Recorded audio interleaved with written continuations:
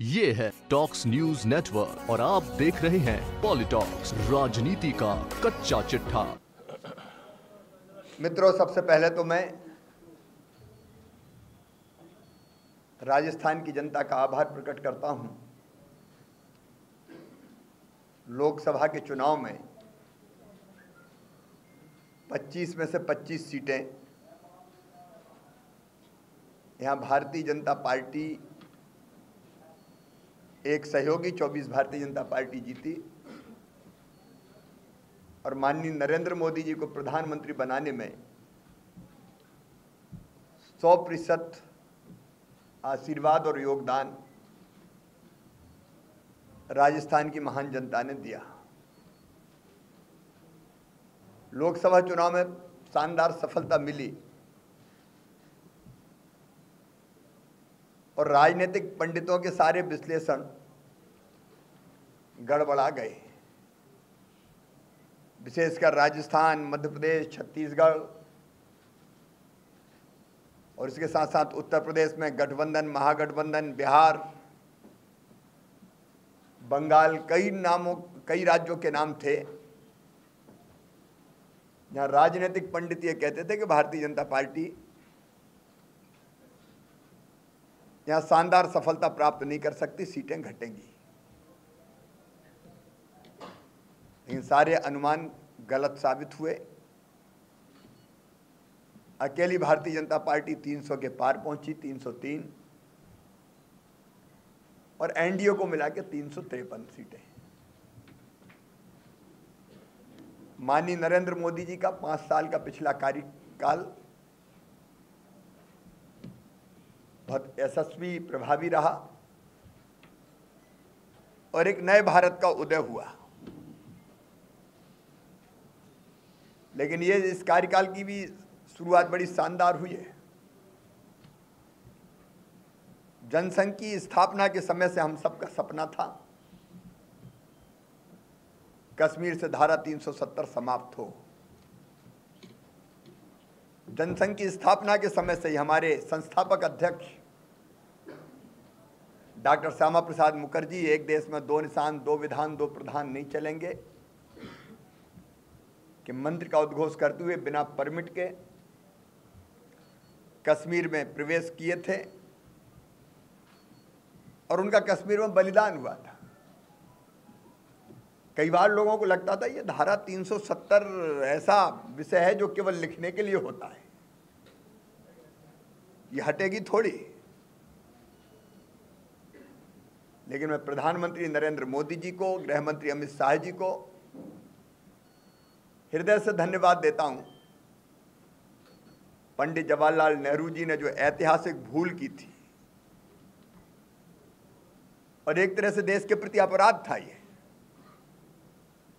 कश्मीर में धारा 370 लगाना, क्योंकि हम सब जानते हैं महाराजा हरि सिंह ने कोई धारा 370 की शर्त नहीं रखी थी, भारत में विलय के समय।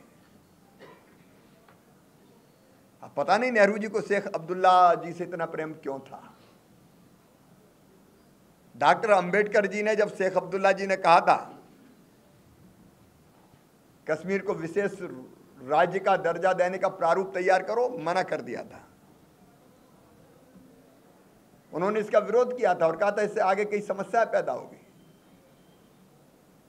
तब नेहरू जी के रुचि लेने के कारण श्री आयंगर जी ने यह मसौदा तैयार किया था। और ये एक ऐसी धारा थी जिसने कश्मीर में आतंकवाद को पनपाया। कई वर्षों तक खून की होली खेली जाती रही। अब ये धारा 370 हो, या पाक ऑक्युपाइड कश्मीर का मामला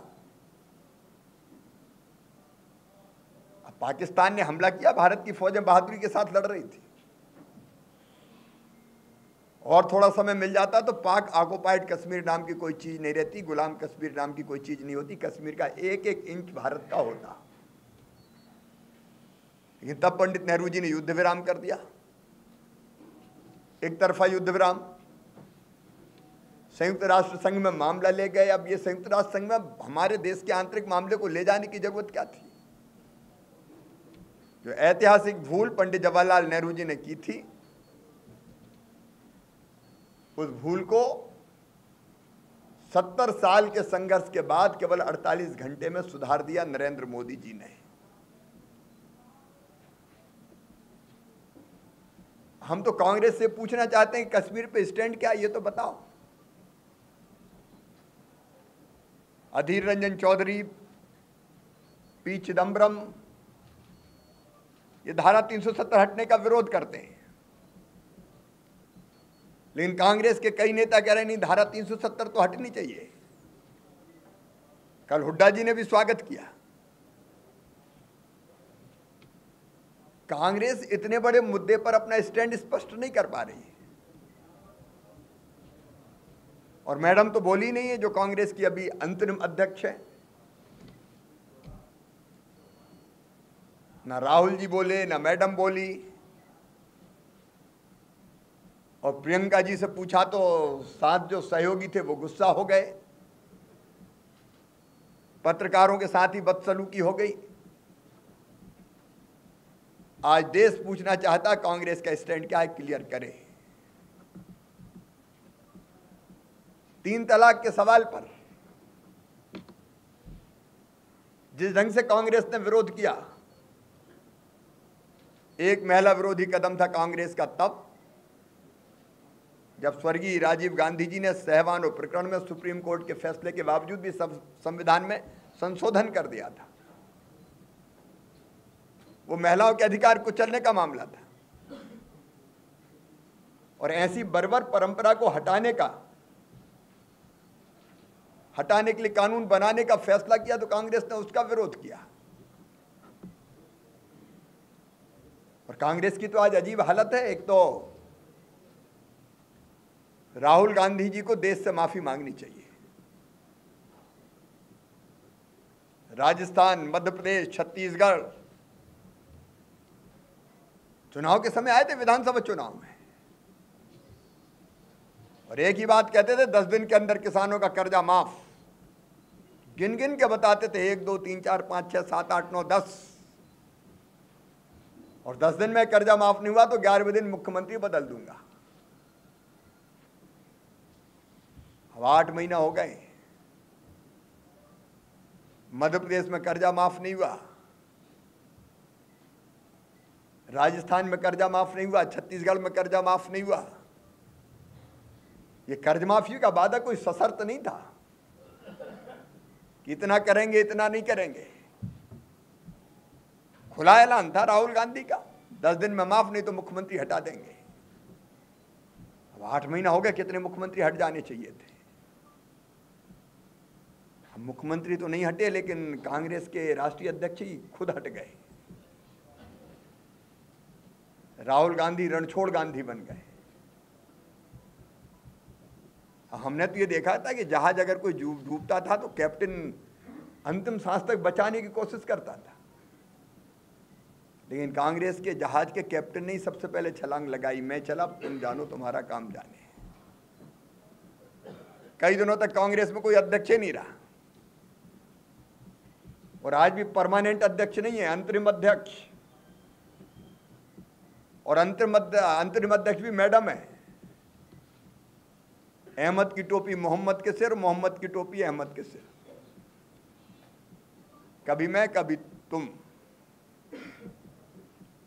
मेरा साफ़ कहना है, कांग्रेस के ठूंठ से नई कोपल तब तक नहीं फूटेंगी, जब तक परिवारवाद और वंशवाद समाप्त ना हो जाए। एक परिवार की गुलाम जब तक ये पार्टी बनी रहेगी, कांग्रेस पनप नहीं सकती। लेकिन जो राज्य सरकारें चल रही है, वो भी अजब गजब चल रही है। राजस्थान और मध्य प्रदेश अपराधियों के गढ़ बन गए। मध्य प्रदेश में भी बच्चों का अपहरण, हत्याएँ, महिलाओं के प्रति अपराध एस सी के प्रति अपराध लगातार बढ़ते जा रहे हैं। अपराधी खुल के खेल रहे हैं। और राजस्थान में भी चाहे हमारे दलित भाई बहन हो माताएँ बहनें हो बच्चे उनके प्रति अपराध लगातार बढ़ते जा रहे हैं। अब थानगा जी अलवर की एक बहन को उनके पति के सामने गैंगरेप किया गया।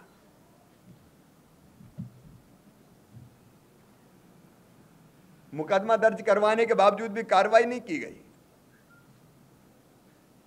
उसका वीडियो वायरल होता है, पुलिस देखती रहती है। राजधानी के बारे में, जयपुर की राजधानी, जो राजस्थान का गौरव है, छोटी काशी। अब कैपिटल ऑफ़ क्राइम के नाम से आज जाना जा रहा है। राजधानी की एक थाने में बलात्कार। अब पीड़ित बहन को न्याय न मिलने के कारण उसने आग लगाई। ज़िंदा जली। और मृत्यु होने तक पुलिस देखती रहती है। एक नहीं, पूरे प्रदेश में अनेकों घटनाएँ। अलवर ज़िले के झिराना गाँव में अट्ठाईस वर्षीय नौजवान हरीश जाटव की पीट पीट के हत्या कर दी गई। लेकिन तुष्टिकरण की नीति के कारण, अपीजमेंट के कारण। अपराधियों के खिलाफ प्रभावी कार्रवाई नहीं की अपराधी गिरफ़्तार नहीं हुए। और अंततः स्वतंत्रता दिवस के दिन दुखी पिता भी जहर खा के जान दे देता है। हालत इतने खराब है कि कांवड़ियों के जुलूस पे पथराव हो रहे हैं।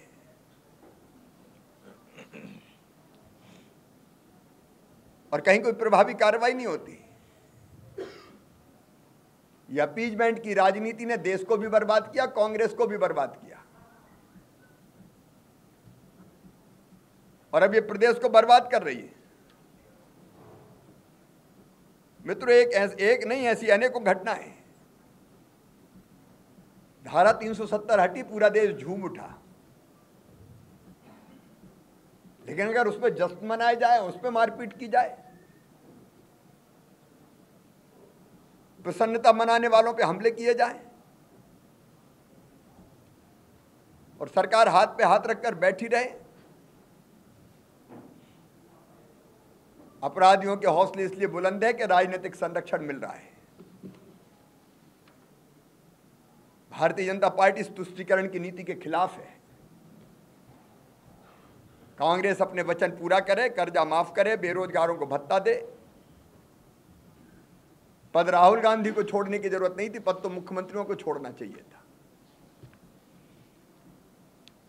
मित्रों, आज मैं सदस्यता अभियान के लिए आया हूँ। मैं राजस्थान प्रदेश की इकाई को बधाई देना चाहता हूँ। पचास लाख हमारी सदस्यता का लक्ष्य था। लगभग सैतालीस लाख सदस्य राजस्थान में भारतीय जनता पार्टी ने बना लिए समाज का हर एक वर्ग भारतीय जनता पार्टी से जुड़ रहा है। सर्वस्पर्शी और सर्वव्यापी भाजपा ही हमारा मंत्र था। यहाँ समाज के हर वर्ग के लोग भारतीय जनता पार्टी के सदस्य बन रहे हैं।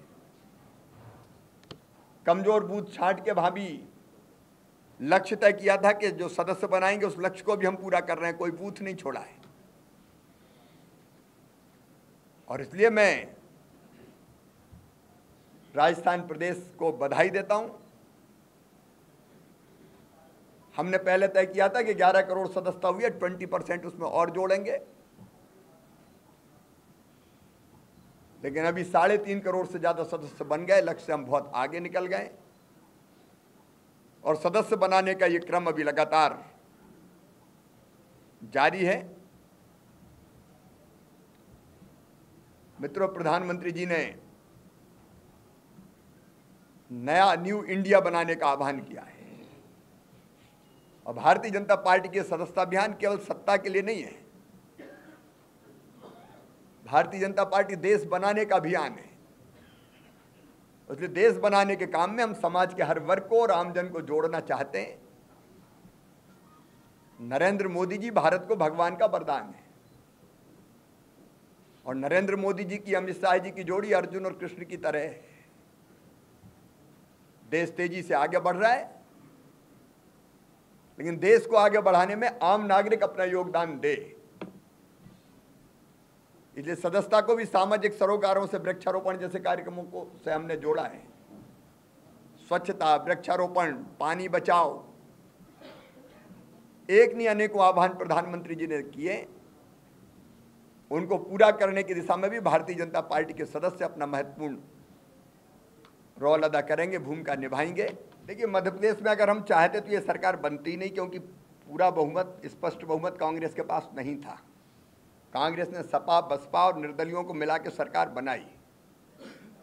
और ये चर्चा भी हुई थी कि उनका भी बहुमत नहीं है और वोट हमें ज़्यादा मिले मध्य प्रदेश में, सीट हमारी ज़रूर थोड़ी कम रह गई। लेकिन मुझे लगा कि सीट अगर ज़्यादा मिली है तो कांग्रेस सरकार बनाए। इसलिए हम अपनी तरफ़ से कोई पहल सरकार गिराने की नहीं करेंगे। लेकिन कांग्रेस जो पार्टी है, आज हालत ये है, राजस्थान हो चाहे मध्य प्रदेश हो, यहाँ सीएम और डिप्टी सीएम में नहीं बनती। वहाँ भी एक नहीं, अनेकों गुट है। एक दिल के टुकड़े, हज़ार हुए, कोई इधर गिरा, कोई उधर गिरा। अब कोई टुकड़े लेके भग निकले कांग्रेस के टुकड़े को तो उसमें हम कुछ नहीं कर सकते भैया। लेकिन अपनी तरफ़ से हम कुछ नहीं कर रहे। देखिए, दोनों जो बातें मैंने कही है, एक देश के कल्याण के लिए नव निर्माण के लिए, राष्ट्रीय पुनर्निर्माण के लिए, असाधारण इच्छा शक्ति का प्रकटीकरण,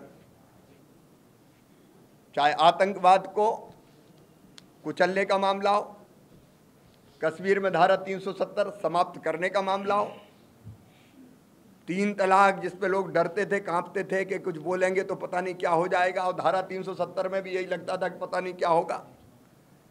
जिस इच्छा शक्ति और संकल्प शक्ति का परिचय दिया है, वो अभूतपूर्व है, और ये भगवान की मर्ज़ी के बिना नहीं हो सकती। और इसलिए सौरी का जो प्रकटीकरण है, उसके कारण ये उपमा दी है। कश्मीर में तीन तीन, धारा 370 लगाने का अपराध।